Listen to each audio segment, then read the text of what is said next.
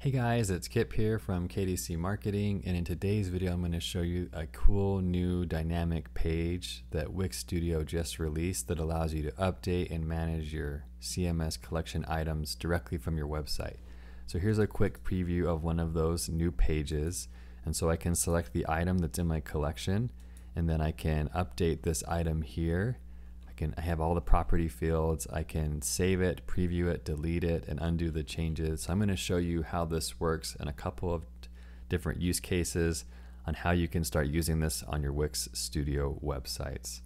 This is something I am actually really excited about. This makes it super easy for you to update your content or to have site members update your content, which is something that we'll talk about in a little bit. So let me show you how you can add a page like this.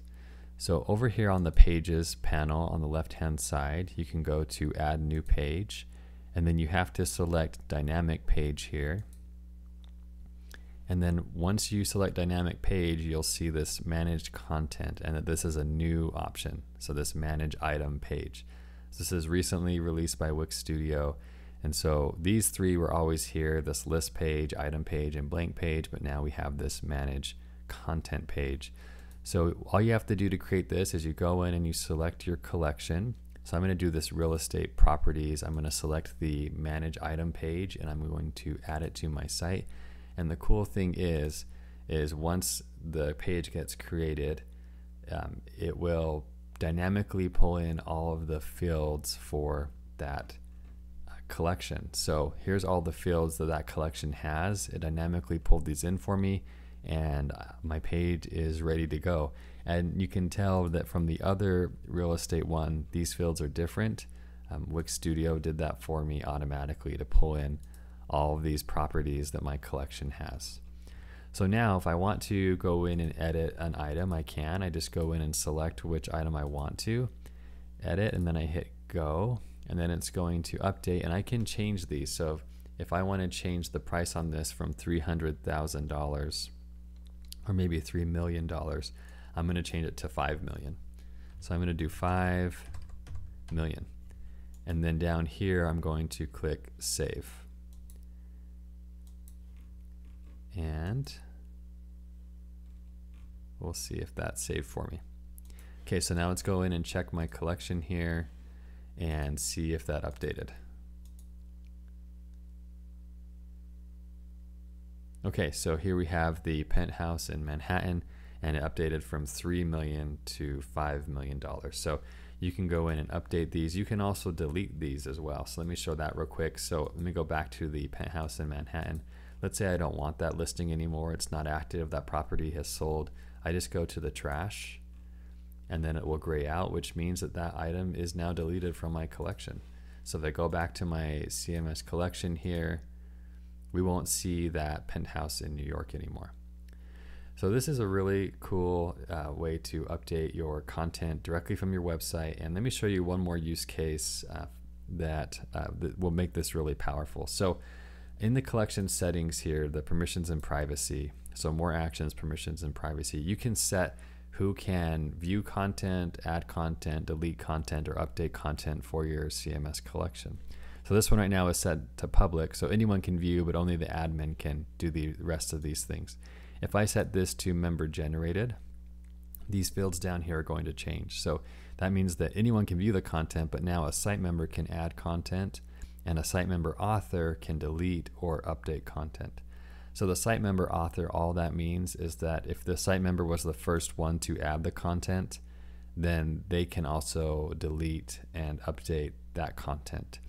Um, if they weren't the first one to add that content, let's say you have one site member who lives in New York who put a listing for their New York property and one that lives in Arizona, the New York member cannot edit the Arizona property. Only the Arizona site member can update and delete that Arizona property.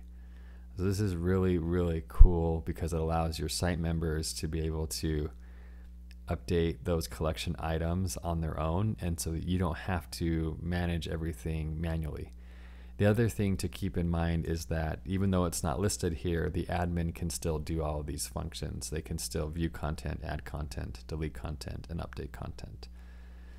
So that's really a, a cool thing to start playing around with. And also, there are other types in here, and you can set your own custom. So if you want the site member author, site member to view, but only admin can add, you can you can edit all these different uh, content permissions however you want them.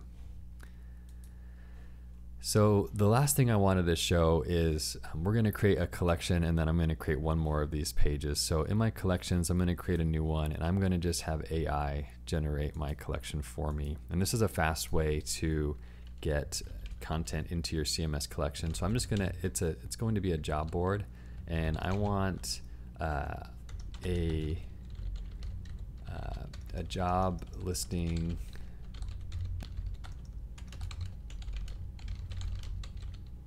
collection. I'm going to just let AI create this.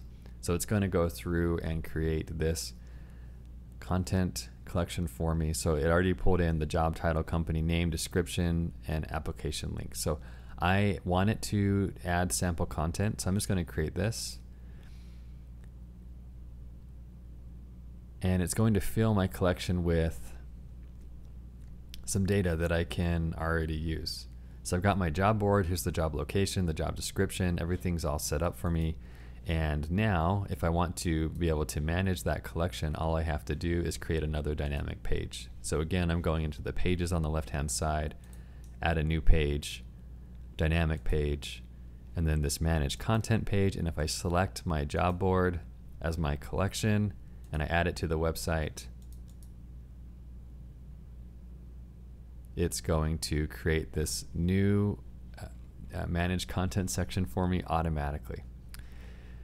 So I just wanted to do a quick overview here. Obviously, there's more you would have to do to set up the whole member member generated system. You'd have to have some of these pages would, would the page settings would have to be for members only, and you can see that these pages default to members only because site members usually are the only ones who you're going to be wanting to update this content.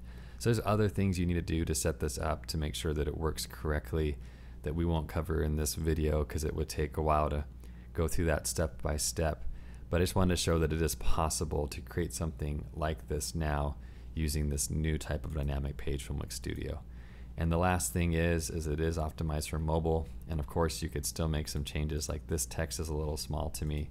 So I might go in and set my min max to 18 pixels, a little bit, a little bit bigger here.